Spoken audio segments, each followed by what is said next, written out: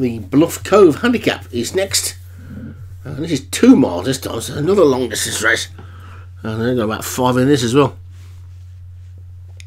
Angus Alfredo for Satyam, October Tiger and Archduke Ferdinand for Graham Clutterbuck, Deep Backward Square for Satyam, Altamont Xiao for Derek Hinton, Star Daddy for Alex Cherry and Crystal Falls for Obi-Wan. Where they go.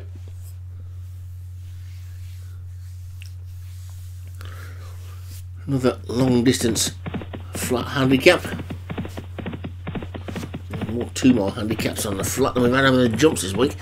Uh, deep backward square, well, for the last few weeks anyway, from Altamont Xiao in second. And a gap of five lengths to October Tiger and Aggie's Alfredo and Crystal Falls.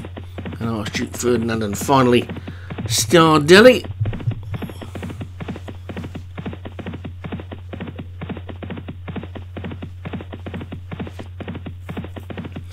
So I'm not sure how many more fireside chats I've got before the end of the season. I haven't dared look at tomorrow's racing yet. It's probably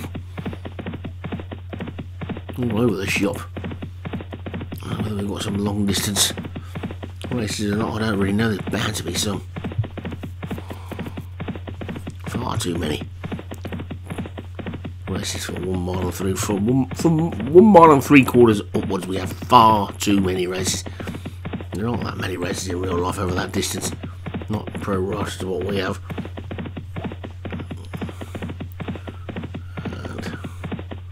They take up too much of everybody's time. It takes long for the race runners to run them.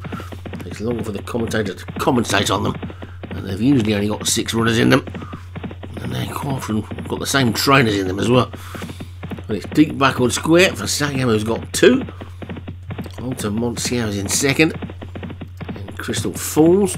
And October Tiger for Graham Clutterbuck, he's got two as well. Most of these trainers are always in these races.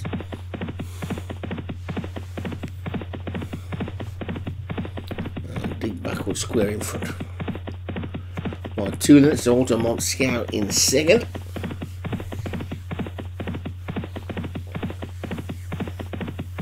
October Tiger, Crystal Falls, Aggies Alfredo, Star Delhi and Archduke Ferdinand as they race down towards the final five furlongs.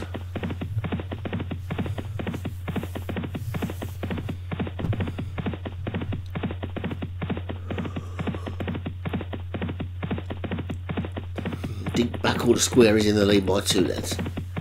To Altamont Xiao in second.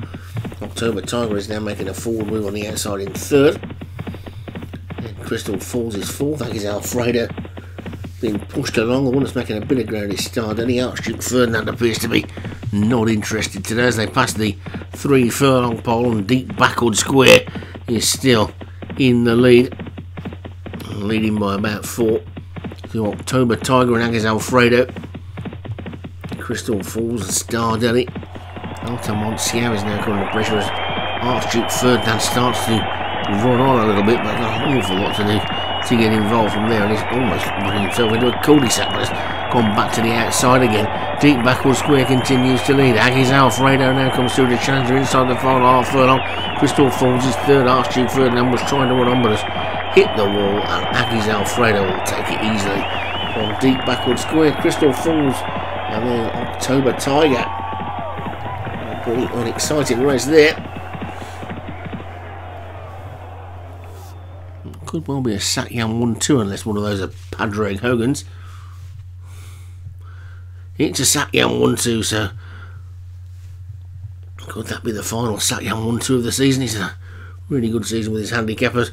Aggies Alfredo, the winner, deep backward square second. Crystal Falls third, Obi-Wan. And Grand Crystal was fourth and fifth with October Tiger and Archduke Ferdinand.